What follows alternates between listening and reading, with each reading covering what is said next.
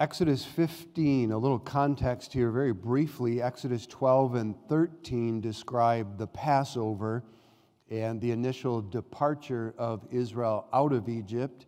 And then chapter 14 is the pursuit of Pharaoh and his hosts.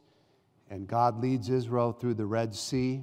And we come to chapter 15, and there we have the song of Moses and the Israelites as they rejoice, looking back at the Red Sea and the deliverance God gave them. They're now on the other side.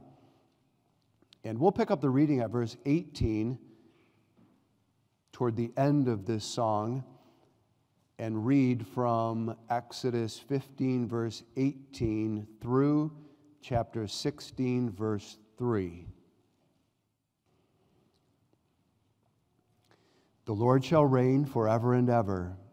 For the horse of Pharaoh went in with his chariots and with his horsemen into the sea and the Lord brought again the waters of the sea upon them, but the children of Israel went on dry land in the midst of the sea. And Miriam, the prophetess, the sister of Aaron, took a timbrel in her hand. And all the women went out after her with timbrels and with dances. And Miriam answered them, Sing ye to the Lord, for he hath triumphed gloriously. The horse and his rider hath he thrown into the sea. So Moses brought Israel from the Red Sea, and they went out into the wilderness of Shur. And they went three days in the wilderness and found no water. And when they came to Marah, they could not drink of the waters of Marah, for they were bitter. Therefore, the name of it was called Marah. And the people murmured against Moses, saying, What shall we drink? And he cried unto the Lord. And the Lord showed him a tree, which, when he had cast into the waters, the waters were made sweet. There he made for them a statute and an ordinance, and there he proved them, and said, If thou wilt diligently hearken to the voice of the Lord thy God, and wilt do that which is right in his sight, and wilt give ear to his commandments and keep all his statutes, I will put none of these diseases upon thee, which I have brought upon the Egyptians, for I am the Lord that healeth thee. And they came to Elim, where were twelve wells of water and threescore and ten palm trees, and they encamped there by the waters. And they took their journey from Elim.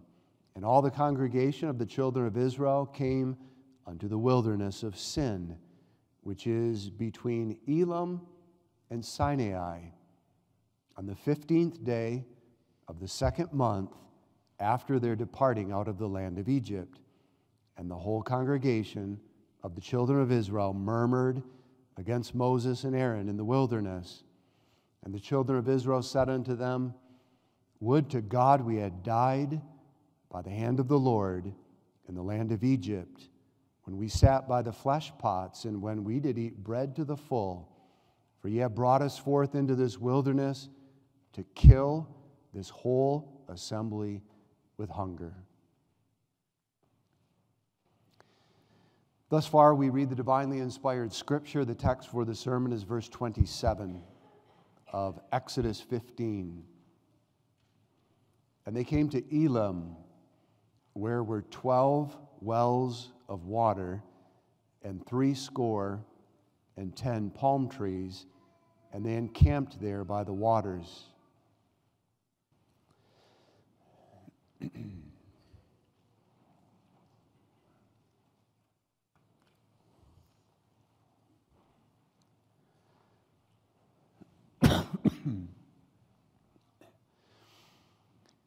Beloved congregation of our Lord Jesus Christ, after Israel came out of Egypt and through the Red Sea, they would journey in the wilderness for 40 years on their way to the promised land. And during those 40 years in the wilderness, was there any place at which they ever stopped that was as delightful as Elim?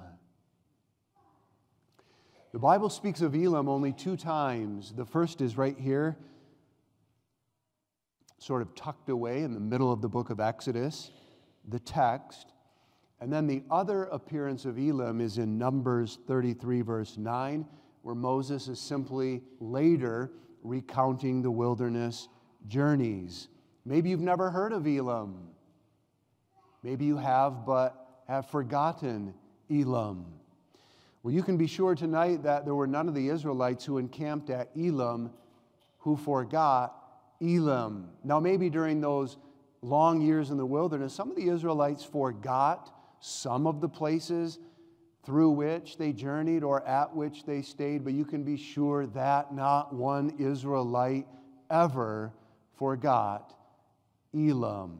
Elim was this beautiful, delightful, charming desert oasis that consisted of 12 wells of water and 70 palm trees. Now imagine this vast, barren, lifeless wilderness. As far as you can see, in every direction, wilderness, the desert. And now don't think of a floor of soft beach sand that you pick up and let the sand run through your fingers but imagine a rugged gray floor of little pebbles and stones, gravel, and then big jagged boulders here and there, and off in the distance, mountain peaks rising, and these little colorless shrubs dotting the landscape, and an occasional lizard or buzzard scurrying through. And then all of this under the scorching rays of the sun, barren, dry, nothing green, no water. And now picture some two million Israelites. And you think of that great mass of Israelites with all the older men and women, and the middle aged men and women, and the younger people, and the boys and girls, and the little infants in arms, and all their herds and their flocks, their animals, all these people, all these animals, step by step, walking through this barren wilderness. Three days earlier, they had come out of Egypt through the Red Sea. And now, after three days in the wilderness, all their water supply, their food supply had been depleted. They had nothing. And imagine their excitement after three days when God led them to Marah and there's water, only to discover that it was bitter and it made their thirst even worse, at least until Moses threw a tree in the water and God made it sweet. But now imagine their arrival at Elim.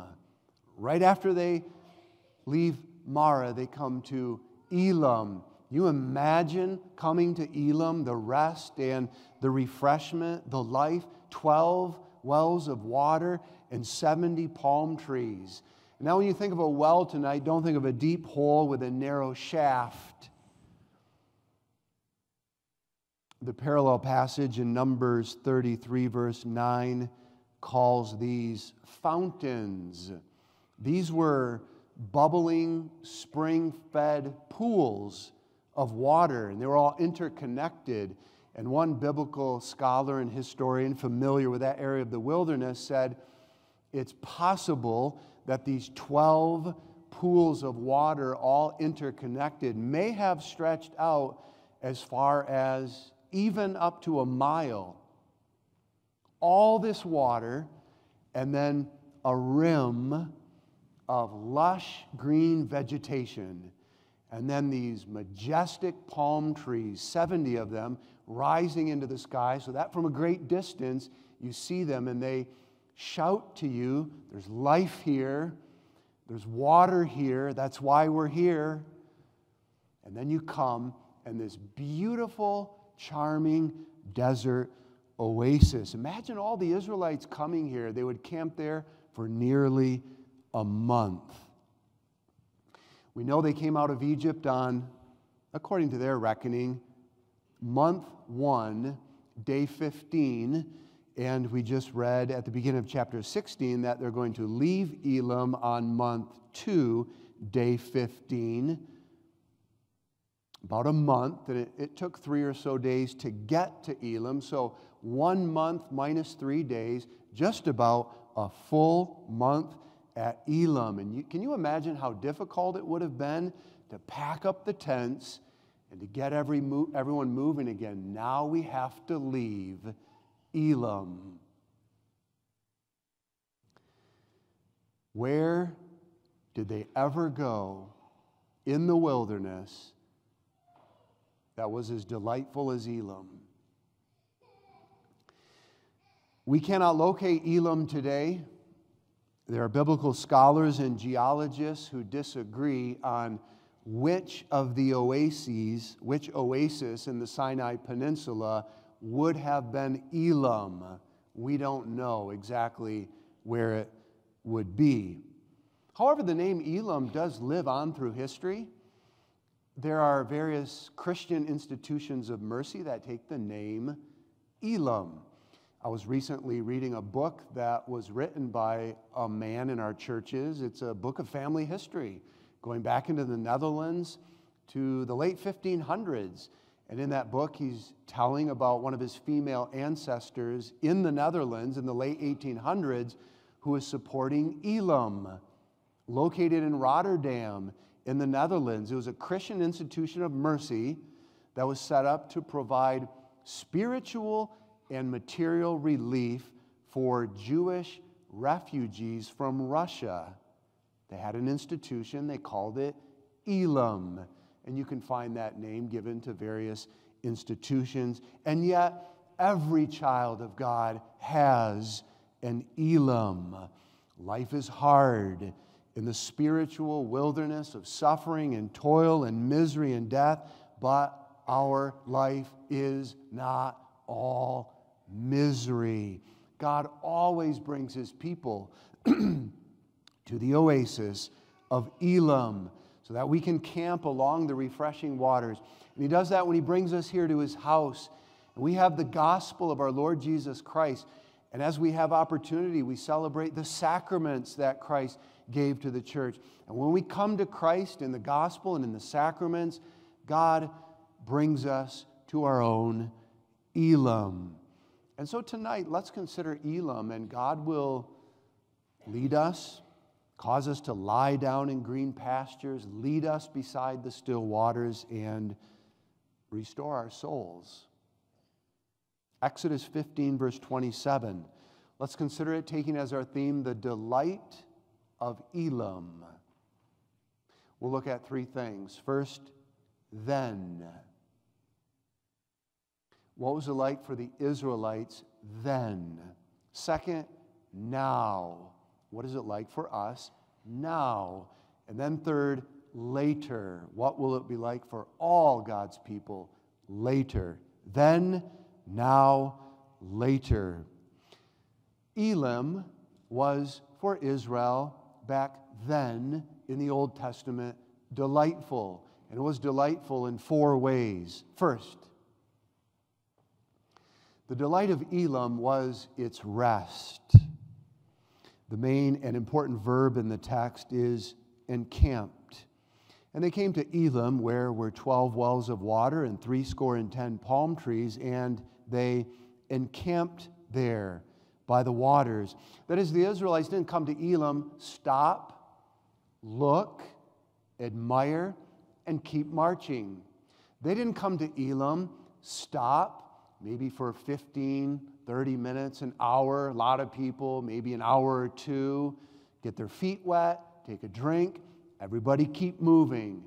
They came to Elim and encamped. They pitched their tents. They stayed there and rested. This was their first rest since they came out of Egypt three days prior. And if you look out into the wilderness and the journeying they will take for the next 40 years, they will not have many places to rest. But Elim was rest. God doesn't always prove his people with hard trials. And God doesn't always send enemies to teach his people how to war. Sometimes God says, My people will have a time of rest. And that's what he said here Israel, I'm going to bring you to Elim, and you're going to camp there and have rest. And it was so delightful.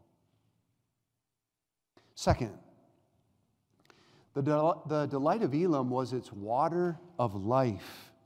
The main feature at Elim was water.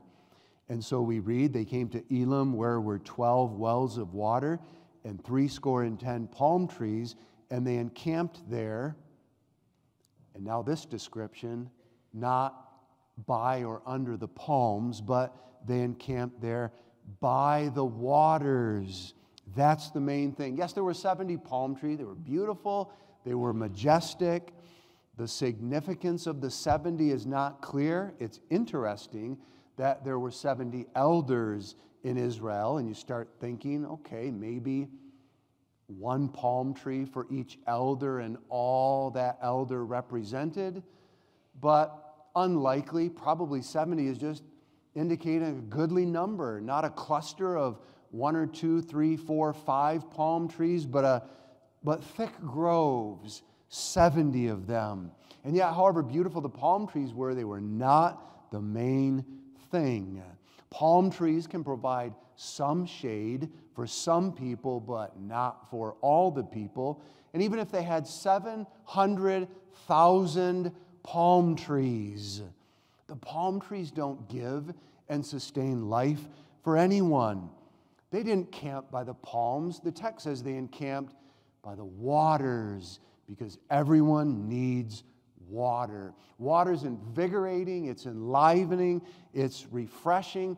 It's what caused the rim to be green. It's what caused the palm trees to grow. It's what every Israelite had for head and all of their animals needed water. And when they came to Elim, they had plenty of water.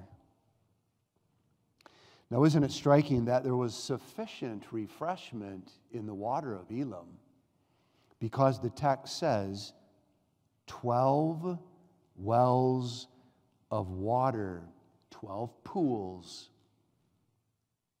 and there were 12 tribes. For every tribe, a pool. And therefore, no one had to squabble.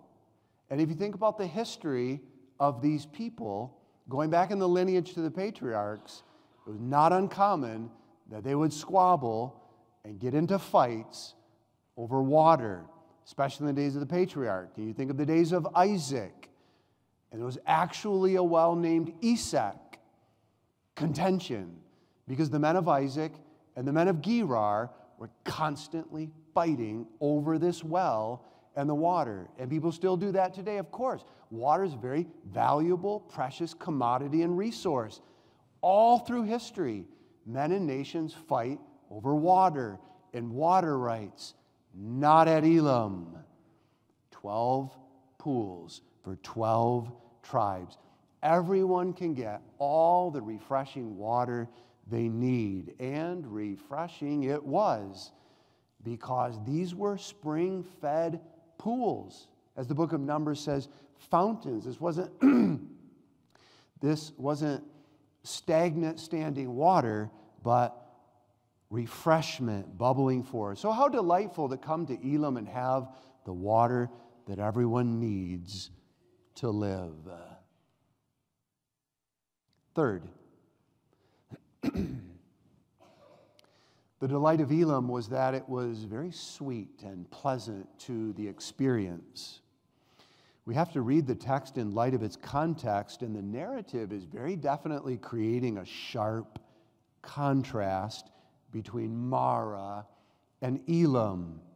Verses 23 through 26 speaks of Marah. And when they came to Marah, they could not drink of the waters of Marah, for they were bitter. One word to describe Marah bitter. And then we come to verse 27 and they came to Elim, And there were 12 wells of water there, and three score and ten palm trees And they didn't leave, they encamped there because it was good water. By implication, not bitter here, but sweet and pleasant. The Israelites wouldn't have appreciated Elim as they did and the pleasantness of the experience had not God first brought them to Marah so that they could taste the bitter water. If God had led them directly to Elim and they had never known the bitterness of Marah, they would have expected it and taken it for granted.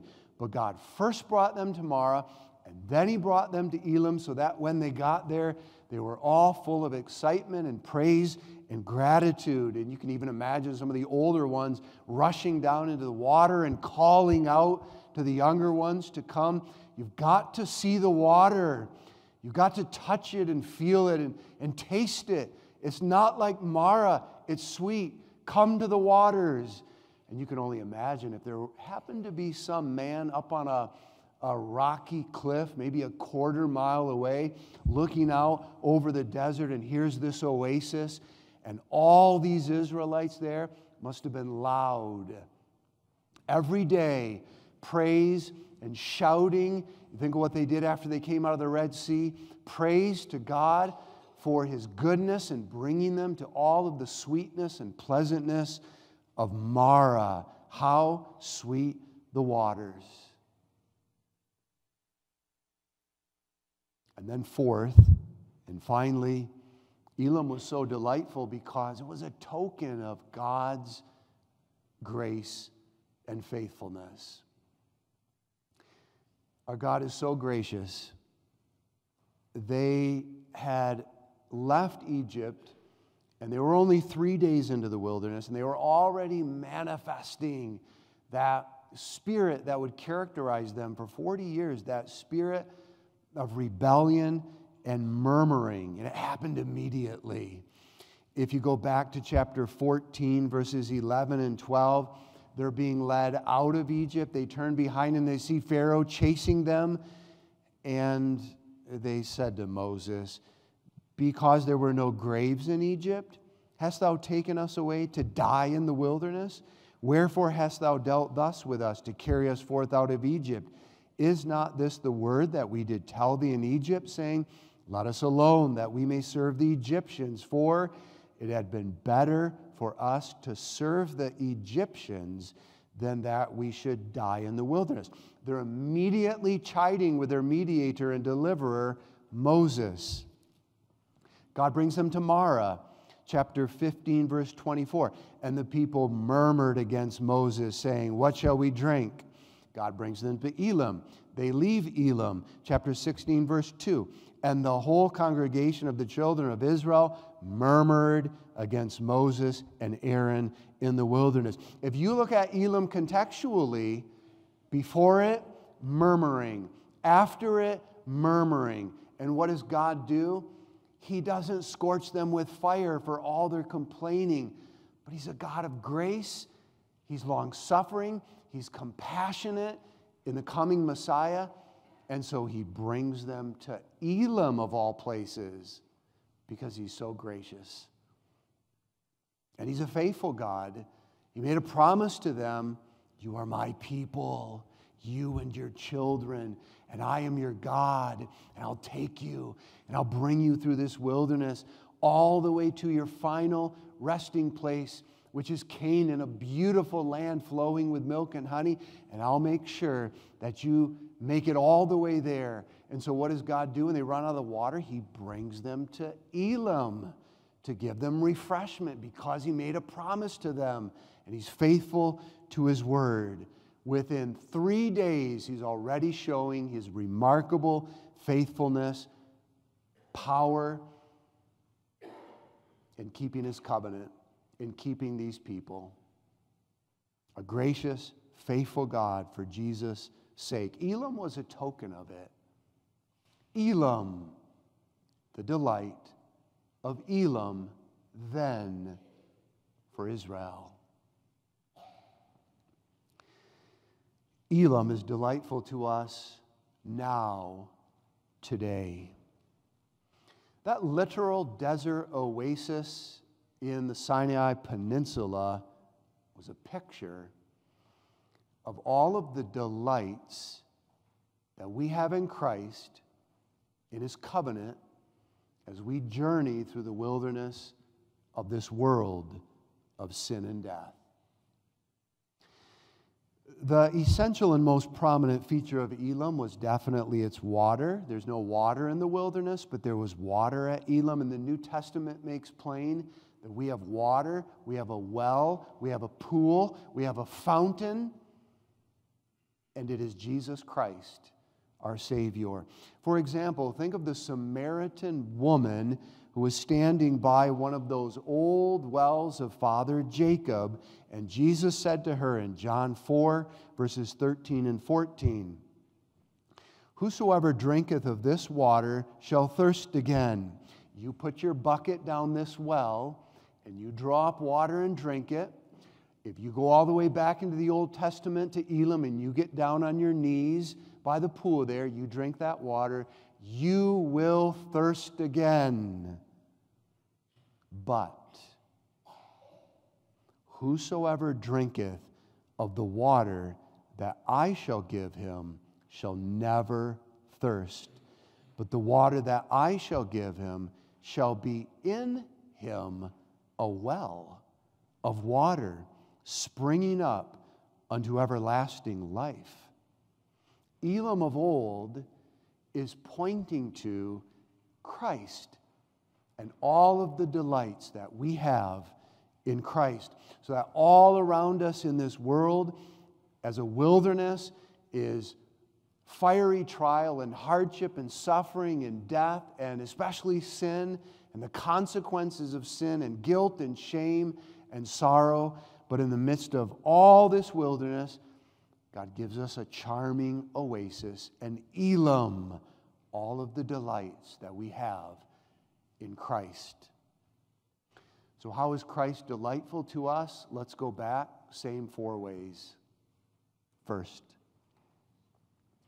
Jesus is so delightful because in him we have rest. In Jesus, in his once for all sacrifice on the cross, we have pardon with God. We have the forgiveness of sins, and with it, rest. You know what's worse than walking, even for 40 years with sandals on your feet? Walking through a waste howling wilderness under the scorching rays of the sun where there's no food and water? What's worse than that? one night. One night of tossing and turning on your bed, one sleepless night where you can't sleep because you know what you did was wrong and your conscience won't let you sleep, it's plagued. Restless the restless sinner. And what do we have in Jesus Christ? Every penitent believer has a covering, forgiveness with God, a purging of the conscience in Jesus. And that's rest.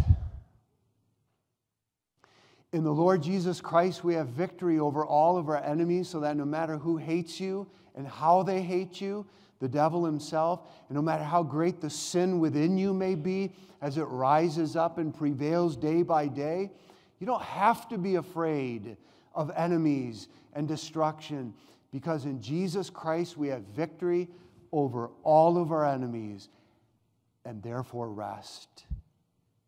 And in Jesus Christ we have a Lord's Day and God's wisdom once every seven days, every week.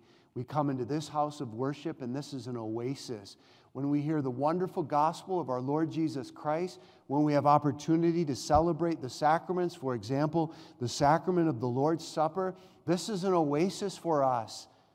The gospel of Christ. We don't have to work today. And God says, don't. We don't have to take up all the, the burdening cares and the affairs of Monday through Saturday. You don't have to check your work email on Sunday. In fact, don't. It's a day of rest. And God brings us into this house to embrace with a true and living faith the perfect rest we have in Jesus through all of his perfect works. Rest for the weary sinner. Life is not all hardship, it's not all toil and wearisome journeying. God gives rest in Christ, who says, Come unto me, all ye that labor and are heavy laden, and I will give you rest because I am your oasis, your Elim. I promise you, I'll give you rest, you weary sinner. Delightful because of rest. Second, Jesus is so delightful to us, our Elim, because he is the water of life by His Holy Spirit, He pours that Holy Spirit into our hearts. And with that Holy Spirit comes all the satisfaction and the enjoyment and the spiritual pleasure and the refreshment of covenant salvation. In fact, even the, the beginning of eternal life in the soul by the Holy Spirit. So that when the Spirit comes into your soul and He keeps working in your soul through the gospel, your soul is saturated. That's the believer's soul. It's saturated, it's dripping with the moisture of the satisfaction that we have in the knowledge of Christ. And you compare that with the soul of an unbeliever, which is all dried out and dead. Jesus, in him we have the water of life. There's enough water for all God's people. 12 wells for 12 tribes. And one Christ for a universal church gathered out of every nation, tribe, and tongue, so that no congregation has to say, We don't want anybody else to know about Jesus. Mission work, we'll talk about it maybe, but we don't want to do mission work. And we don't want to go out and witness of the name of Jesus and his holy gospel, lest other people come to Christ and they're not, and there be not enough water of life for us. Let's guard it. Let's protect it so others don't take it lest we run out. No. One Christ, a universal church. He's infinite, He's divine, He's the Son of God, and there's enough satisfaction in Jesus Christ for all his people. In fact, he is a well that is inexhaustible. Water for all God's people. Refreshing water. What would we do without the invigorating spirit of Jesus Christ? It's hard even to imagine. If you're a believer, it's hard even to imagine what it would be like to live in unbelief with a dried out soul. Awful, awful experience. So delightful is Christ, the water of life. Third, Jesus is so delightful, our Elim, because in him we have so many sweet and pleasant experiences. He's sweetness to the soul. We all have our Marahs.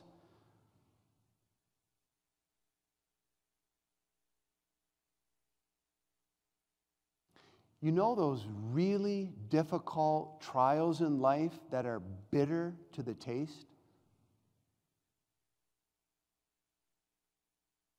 And your own personal sin, especially, where sin promises so much and is so alluring to the flesh, but sin never delivers.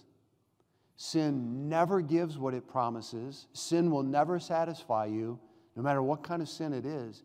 In fact, sin always leaves you with a very, very bitter taste, bitterness in your soul.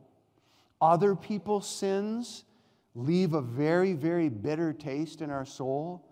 We all have the marahs of life, the bitter experiences. That's true for every believer. That's also true for every congregation. If a congregation exists long enough, has a stretched out timeline, it will very likely go through a period, a stretch, perhaps even lasting several years, where because of various sins and trials and disruptions of peace, the members of the congregation say, we have a very bitter taste in our mouth, in our soul. There are marahs, stretches of bitterness for congregations, so that you can look back and say, oh, yeah, those years, those were Marah years. And you could really say the same thing about a denomination of churches of the Lord Jesus Christ. As you look at the timeline of a denomination as it stretches out over decades and even perhaps a hundred or more years, there'll be stretches on the timeline of the churches about which you will say, Marah, living during that period of time in so many ways left such a bitter, bitter taste in our souls. Marah. That's reality. God always brings his people, his churches to Marah. But that makes Christ so sweet and pleasant to the soul and his gospel and his sacraments. Even in the midst of the Marahs, the bitterness, we're not alone. And apart from Christ, it's right there in the middle of Marah that we really come to appreciate how wonderful the knowledge of Jesus Christ is and how precious he is to us above all things that could ever be offered in this world. But even then, life is not all Marah. Life is not all bitterness. Every child of God, every congregation, every denomination of Jesus Christ not only has Marah, but Elim. When God brings us into a time of quietness and rest and refreshment and peace, the dominating experience is one of rest. And it's so sweet and so pleasant to the soul. How can you not lift up your voice and sing to God for what He gives in Jesus Christ. If there were, as it were, someone up on a ledge looking down over the wilderness of this world and seeing the congregation in the midst of the wilderness, surely they could hear songs of triumph and joy and gratitude being lifted up to God. Thanks for Christ and the sweetness we have in Christ and saying to the children, boys and girls, we want you to know Christ and taste Him. We take you to churches, we must. We see to it that you do your catechism, but we can't give you faith and we can't believe for you. You must believe. All of us, and boys and girls, it's not enough just to come to church, just to occupy space just to hear with the ears, embrace Jesus Christ with a true and living faith and taste Him and all of His delights and find Him to be the only thing in this whole world that truly satisfies. Because our God is sovereign, we pray and we pray and we pray to Him that He will make His call efficacious and take us and our children and draw us to Christ that we not only hear him with our ears, but we, you, I, truly taste him and find him to be so sweet, our Elim in this wilderness. And then, fourth and finally, Jesus is so delightful because he's the ultimate token. He's the revelation of God's grace and faithfulness. He is. He's so, so gracious, our God. We don't talk about the Israelites and say how they murmured, they did. We have our own sins and our murmuring and our rebellion and our complaining and our complaining and our complaining and our complaining. We've all complained. Nothing's good enough. That's sin. And we don't deserve one glass of water We certainly don't deserve a well of water, a pool. We don't deserve 12 wells of water. That's, that's only a picture. We don't deserve Jesus Christ, the blessed Son, and his lifelong agonizing suffering under God's wrath for all of our sin. We don't deserve the one who suffered that accursed death on the cross of everlasting bitterness for us because of sins he never committed, but because of all of our sins.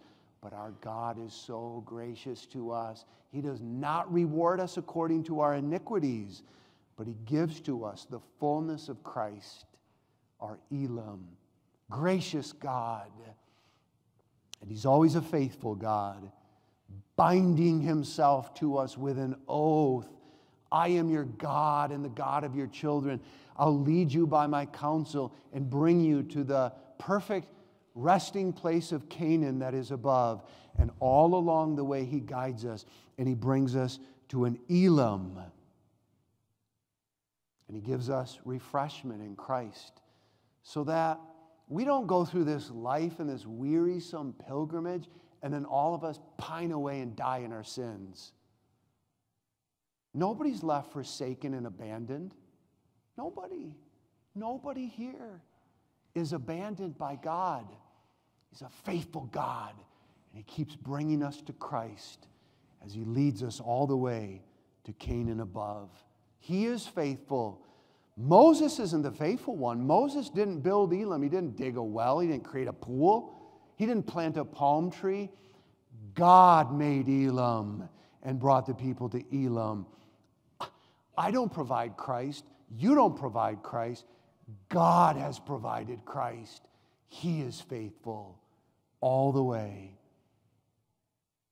Elim, delightful. Isn't it delightful to have Christ? Now, you're a fool. You're a very wicked fool. And so am I. If God brings us to Elim, and we say, I'm not stopping here, and you keep going into the wilderness, I'll find my own way. We're going to find you because we're coming and we're going to keep marching and we're going to find the buzzards picking your flesh because you're nothing but a skeleton. You're going to die. You are a very wicked fool if you come to church and you hear the gospel of Jesus Christ and you do not believe in Jesus, you do not drink the water of salvation, but you say, I don't need Jesus. In fact, I don't need to come to church. I'm going my own way. You are going to perish everlastingly in hell. God be thanked for Elim, for Christ and for giving us the gift of faith so that we believe in Christ. And now, weary sinner and traveler burdened by sin and guilt and your doubts and your fears, let your heart settle on Christ tonight and all of the delights that are in Christ. Think of who you are as a sinner, and then think of who Christ is and what he's done, and really let your heart settle on that cross in those last six hours especially those three hours of darkness in which he was hanging on that cross, and no Elim. Not for Jesus, no Elim in the wilderness of that cross. Not even one second of an oasis, no reprieve, no refreshment. You know, those soldiers, they had their concoction, they had it ready. They took their vinegar mingled with myrrh, and it was a sedative to dull the pain, and they offered it to Jesus.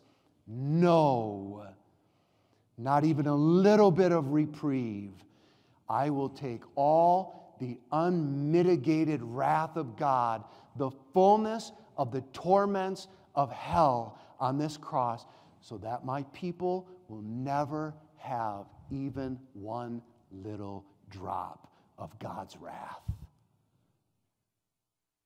He paid it all on that cross. Think of him Let your heart settle on Christ by a true and living faith and embrace Him, the beautiful Savior.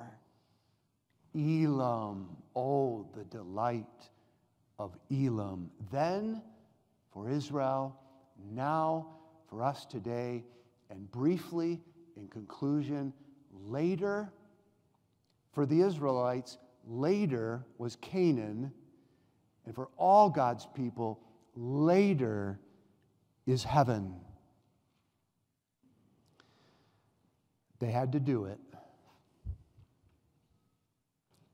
That's chapter 16. They had to do it. They had to pack up their tents, all their stuff and their animals, and they had to keep going, leaving Elim, because their true dwelling place was Canaan ahead, about which Deuteronomy 8, verse 7 says, For the Lord thy God bringeth thee into a good land, a land of brooks, of water, of fountains and depths that spring out of valleys and hills.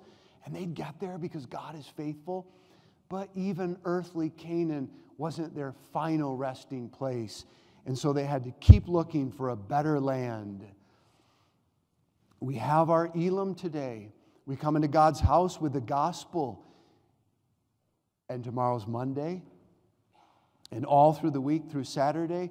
And then God brings us to another oasis next Sunday, another Elim in the gospel. And all along the way, we get an oasis and a foretaste of what is to come because we're looking for Canaan above. Heaven is our final resting place. Heaven is not Elim. Heaven is not an oasis. Heaven is not a place where you come and you camp for a month and now we all have to pack up and leave and go back into the wilderness. Heaven is not Elim. Heaven is Canaan. Ah, the promised land, the final resting place in all of its perfection. And what we have now in this oasis for just a little while, it's a foretaste of the unending rest and the peace and the sweetness and the pleasantness that no tongue can tell that we will enjoy forever and ever when God finally brings us home to heaven. And now we have every step of the way His grace and faithfulness. So blessed be His name, the God of Elim, and the God who brings us to Elim and causes us to experience all the delights we have in Christ. Amen. Let us pray. Father in heaven, we thank thee for the sacred history of the Old Testament, verse by verse, chapter by chapter. Who is a God like unto thee? And Lord, thanks that thou art our God also. Now go with us in this new week in the wilderness and keep us safe. For Jesus' sake, amen.